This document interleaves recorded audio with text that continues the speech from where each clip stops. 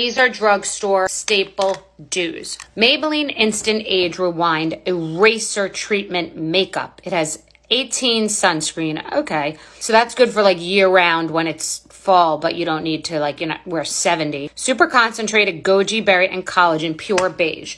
Excellent, excellent basic product. Back to basics. I am obsessed with the L'Oreal Age Perfect Tinted Balm. I keep putting it against high end like La Prairie, which is 100 over $100. This is an excellent product.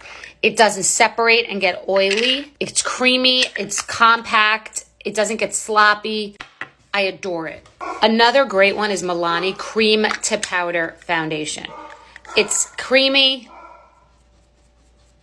but it's powdery. You got to get the right color, obviously, but it's nice to just stick in your purse if you want to touch up throughout the day.